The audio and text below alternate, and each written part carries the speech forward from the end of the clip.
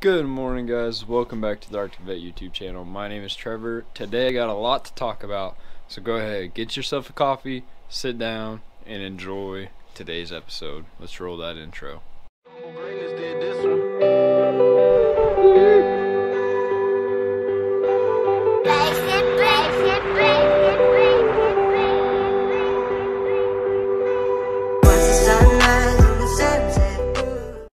First up, I'd like to introduce you guys to Celestial, the new Arctic Vette headquarters, brains of the operation. That would be my new computer. I cannot wait to stream and learn how to play games on there. And by games, I mean like playing Fortnite and stuff. Like, play Fortnite on the PC and some other games. You guys check that out. It got a perfect spot for the awesome Corvette inside there. You already know. So sick. Super exciting. Let's move on to the next thing. So, the next thing is you guys may remember that I had mentioned that we had a pretty crazy wildfire uh, kind of southwest, southeast of town. Um, and it, it was wasn't very good. I could let's see if I can find this real quick. We had several homes lost. I want to say there's 35. 35 altogether. Um, yeah, here we go. 35 homes, 92 outbuildings, 110 vehicles, and all of that stuff, like total loss. Completely gone and then there were uh, two homes that had damage, eight outbuildings that had some damage, and we we have lost like a person had lost their life in that. So pretty pretty scary stuff, pretty crazy. It, and it all started from just a, a brush a brush fire. Um, so somebody had started up a fire, like to burn up their brush and whatnot and it with the wind honestly the wind was enough just to kick it up and send it everywhere. And it was 12,000 acres I believe. I believe that's what it was 12,000 acres. That's a lot of land. And we had firefighters from everywhere. I mean everywhere. So what I wanted to tell you though is that the community has been overwhelmingly amazing with helping all those people. And there's some in our school that there there's people from school that have lost their homes and stuff like that. And basically all of their needs have been met. They're they just they just need help financially now. And it's amazing. And there's there's ways that we can help. Um, if you're local the biggest way that you can help is saturday this is what I really want to tell you guys. Is Saturday, this Saturday, uh, why do I want to say September? I want to say the 12th. Is it the 12th? Yes. Saturday, the 12th. This coming Saturday, okay? We got it. 3 o'clock. We're meeting at Allen Samuels. Don't have to bring your super nice car out because the weather may be a little iffy. We're going to be there. We're going to have our we're meeting there. We're going to have a cruise to the barn in Burton, which this fire went towards Burton. It went north and then it went back and uh, east, and the wind changed like four times on him. So I can only imagine how much of a pain that was to fight that fire. And I, I don't think it's even completely out yet. I think there's still some hot spots. However, with our lovely snow, this is the second time of snow.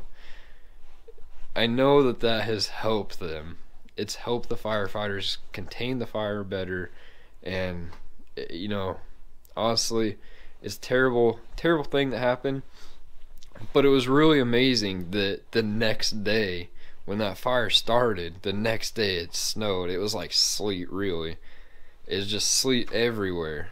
And it helped i'm sure it helped put out a bunch of little fires here and there for for the firefighters. Made it a lot easier saving them a bunch of work and they could get some more more stuff. Um, so anyhow, Evolution Car Show, we are going to be having a cruise, a fundraiser cruise, uh, March 12th, this coming Saturday at 3 p.m. We're all going to meet at Allen Samuels. From there, we're going to cruise out to the barn in Burton and we're going to have a meal. And the barn, this is the cool thing the barn, if you get their $12 barbecue meal, that that money is going towards all the victims of the fire the the cottonwood complex fire it's amazing amazing so if you guys bring some cash and you're willing to donate cash because mostly financial need is is their needs now. It's not so much clothes. Most of them have got clothes and they're all all good with that as far as I I know. Which is amazing. It's absolutely amazing. So they're just needing financial aid. We got people staying in hotels, we got people staying at friends and some have found rentals like to go rent and stuff like that. And it's amazing. It's amazing. So, our community, it, it's great. It, it is. It's amazing when something like this happens and we can all really just come together and take care of those in need. Man, I wish we could do that every single day, everywhere we go. Imagine how the world would be. Imagine how the world would be. So, those are the big updates. Those are the things I want you guys to know. Because if you're local, if you're in the area, and you want to join us, please drive whatever you got. You want to bring out a nice car, go ahead.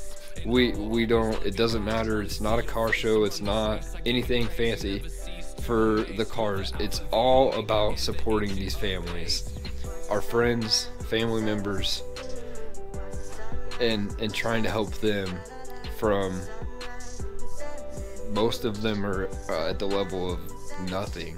They lost everything and they've got to start over. I mean, if I lost everything, I would. Luckily, I have family I could go to, but man, I'd be, I would be devastated. Be devastated. So I can only imagine what some of these people are going through.